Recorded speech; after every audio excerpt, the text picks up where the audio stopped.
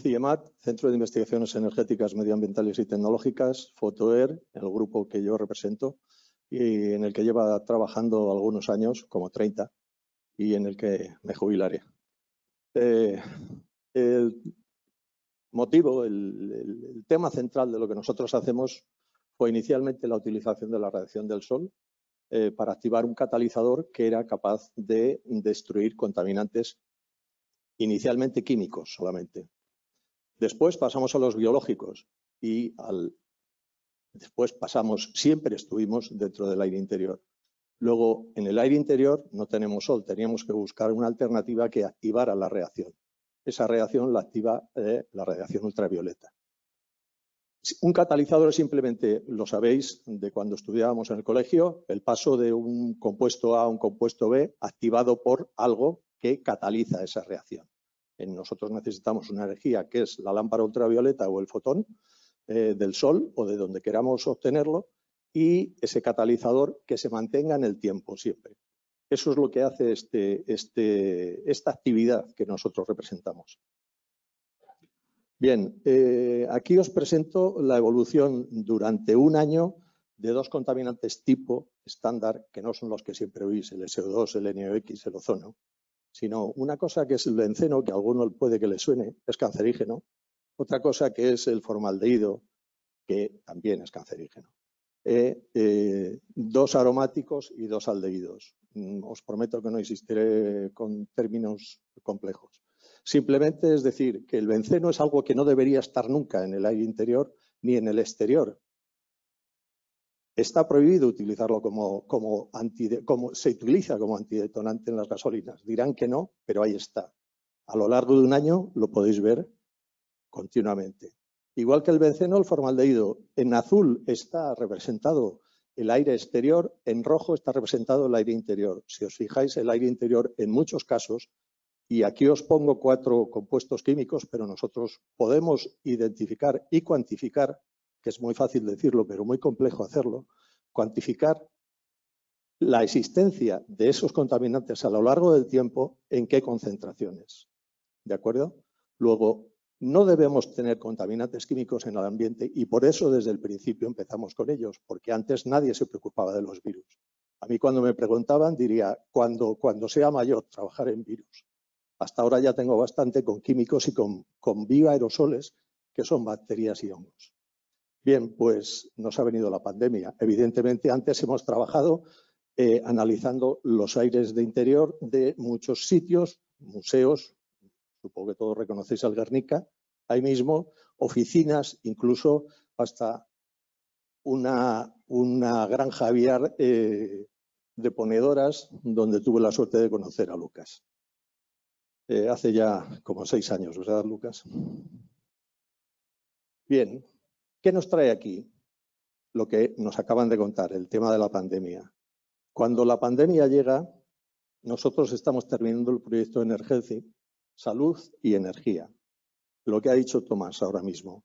La energía siempre, y ahora se está constatando más, la prensa de hoy mismo ya nos habla de otras cosas que nos van a dar por ser tan cara, la energía siempre es necesario gastar, o sea, gastar menos. Y la salud, per se, la necesitamos.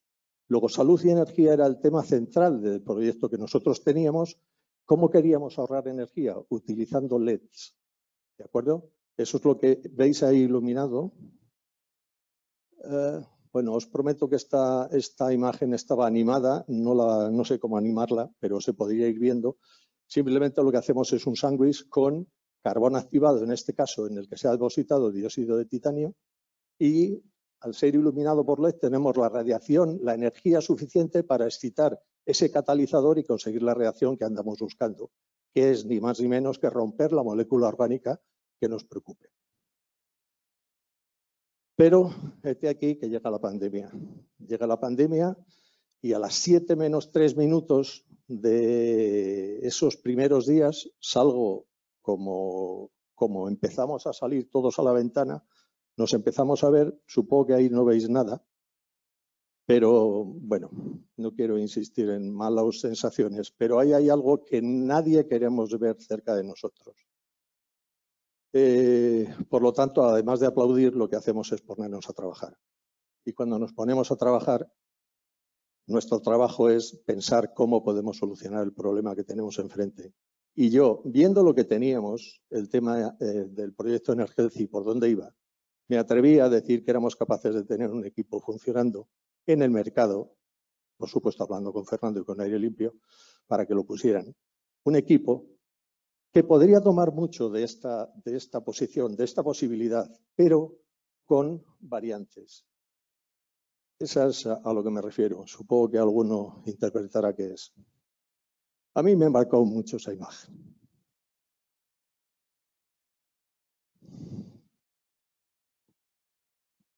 Bien. Esto es un filtro EPA con H. H-E-P-A. Tiene 30 centímetros, 28 centímetros de lado y esto es un prefiltro que tiene 8 centímetros de lado, de grosor. ¿Qué significa eso? Que desde entonces, desde que aplaudíamos a las 7 de la mañana, nos han estado machacando, machacando, machacando, que nosotros teníamos que poner filtros EPA. Y EPA, y EPA, y EPA. Todo era EPA. Yo tenía otra idea. ¿Por qué? Porque el filtro EPA no retiene las partículas eh, químicas que tenemos en el ambiente. Habéis visto el tema del formaldehído, habéis visto el benceno. ¿Y qué tiene que ver esto con el virus? Como me estaba haciendo mayor ya, tenía que estudiarlo también. Pero no tenía que olvidarme de lo que yo tenía aprendido. Y era que tenía que eliminar los compuestos volátiles, compuestos orgánicos volátiles, que tenemos en todos los ambientes, aquí ahora mismo también. Perdonad, ¿eh? Si os fijáis, este filtro A tiene esta eficiencia. Este filtro famoso EPA, que tanto se ha hablado de él, tiene esta eficiencia. Cuando nosotros colocamos un filtro de carbón activado, como este, mirar a dónde estamos, y cuando le damos un plus a todos ellos, más que la fotocatálisis, somos capaces de tener algo decente. Es decir, podemos destruir compuestos químicos y biológicos somos capaces de destruir el virus, ese era el proyecto, porque yo no había trabajado con virus nunca y no podía decir, como mucha gente está en el mercado diciendo que lo destruye, sin demostrarlo. Había que demostrarlo. Por lo tanto, el diseño que se nos ocurrió fue este. Evidentemente partimos de un sistema que ya tiene aire limpio implementado, es comercial. Puede que esté colocado en, en este techo, no lo sé, pero desde luego está en muchos, en muchos sitios. Por lo tanto, en muchas empresas. Partiendo de él, aprovechando la capacidad filtrante que habíamos demostrado que teníamos con el carbón activado, lo que planteamos es, tenemos que salir corriendo para en un año, un año y seis meses que nos dio el CDTI, tener listo un proyecto que pudiera, si pudiera, si diera resultados, estar en el mercado al día siguiente. Eso es lo que nos planteamos con un único filtro. No quiero meter la pata al señalar. Ahí está. Un único filtro de carbón activado que iría metido como tipo rack en el sistema aquí abajo. Un sistema en nube, que es un sistema de polarización activa que aire limpio comercializa. Y al final, como garantía, si quieres, de seguridad para la eliminación de algún resto de partícula que no se hubiera eliminado, meter un, un filtro de alta eficiencia también, pero no un EPA, sino un filtro de los de 8 centímetros, no de 30 que os digo. ¿Qué se consigue con eso? Que la pérdida de carga sea menor y por lo tanto el flujo de aire cueste menos movilizarlo a través del sistema y por lo tanto podamos ahorrar energía. Esa era la idea. El sistema filtrante, este sistema de polarización activa, lo que le añadimos fue una fibra natural que protegía de la degradación que la radiación ultravioleta podía originar en polímeros sintéticos, que son los componentes de los sistemas filtrantes que ellos utilizan. Por eso, el gran acierto del proyecto fue la incorporación de esta fibra, evidentemente con dióxido de titanio incorporado, con catalizador, con un sistema fotocatalítico incorporado, de manera que si una lámpara entraba de arriba abajo, es decir, esta que veis aquí, y ilumina este triángulo, nosotros tenemos una vía perfecta de penetración del aire del ambiente, de toda la sala, ¿eh? entra por el sistema, eh, es inicialmente absorbido en el carbón activado, pasa a través de él, llega a este triángulo, tiene la lámpara eh, ultravioleta A, no C, ultravioleta A, ahora os explicaré por qué, en el centro, ilumina las tres caras y funciona de esta manera que estáis viendo ya, en, tal y como lo veis, la cara interna tiene esta fibra natural, la cara externa tiene esta fibra que es más sintética, el aire ha pasado a su través, sigue hacia arriba, pasa por el filtro y es bombeada al exterior por, estas, por estos ventiladores. Ese es el sistema que propusimos y que hemos estado testando. Evidentemente, como os he dicho al principio, nosotros trabajábamos en bacterias con unidades formadoras de colonia, es decir, con, el plaqueo estándar, digamos, de, toda la vida, pero no teníamos experiencia en virus. Luego necesitábamos en el proyecto dos cosas importantes, dos apoyos fundamentales para que el proyecto fuera adelante. Expertos en virología que fueran capaces de manejar el SARS-CoV-2 y expertos en identificación bacteriana que no me dijera solamente lo que nosotros éramos capaces de hacer, que era identificar las unidades formadoras de colonia, sino que me analizaran por metagenómica, si era posible, las especies existentes ahí, que no fueran ya cuántas tengo, sino cuáles tengo, tal y como nosotros hacemos en la cuantificación y en la identificación de los compuestos orgánicos volátiles. Por eso era fundamental. Por lo tanto, en el proceso de ensayo fue el siguiente. Nosotros desde el laboratorio ya con la unidad que habéis visto anteriormente, ahí estáis viendo, esto es una, de las unidades del catalizador que conforman el, rack que nosotros incorporamos de carbón activado, se ensaya en el, en el laboratorio a la entrada y a la salida, tomando muestras de aire, identificando los químicos, los biológicos, los virus todavía no. Cuando vemos los resultados que tenemos, Insisto, somos capaces de identificar por masas la cantidad, eh, más, de, más de 100 compuestos químicos. Somos capaces de cuantificar, cuantificar más de 70 compuestos químicos. Significa que cada uno de ellos hay que calibrarlo individualmente. Es un trabajo de chinos y no lo hace nadie. Bien, es, después del laboratorio nos vamos a, nuestro, a, uno de los despachos que tenemos. Cuando vemos que los resultados son fiables, nos vamos al comedor del CIEMAT.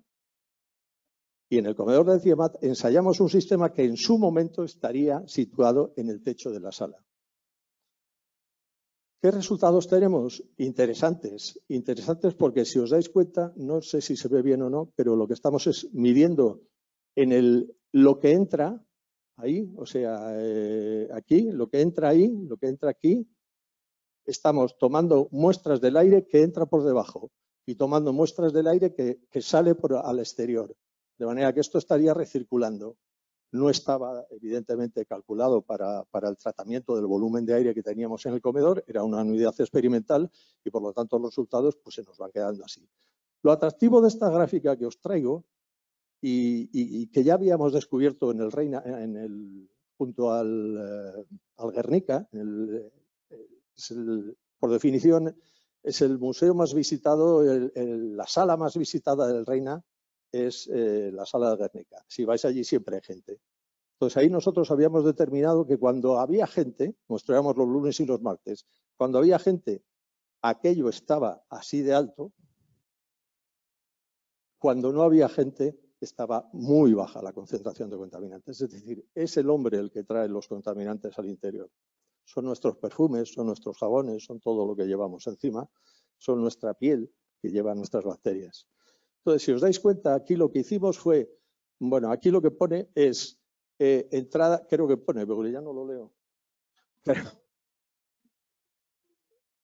Eh, eh, una, línea es la, entrada al reactor, otra sería lo que nos sale por arriba, y esta sería la contaminación que hay en la calle. Fijaros cómo en unas horas, desde las 9 hasta las, creo que pone las 13 o las 11, eh, la contaminación de la calle va cayendo de aquí a aquí, de aquí a aquí, y lo que entra en el reactor y lo que nos sale. Lo que entra en el reactor, lo que, sea, qué poquito sale, ¿verdad? ¿Qué, poquito entra y sale algo?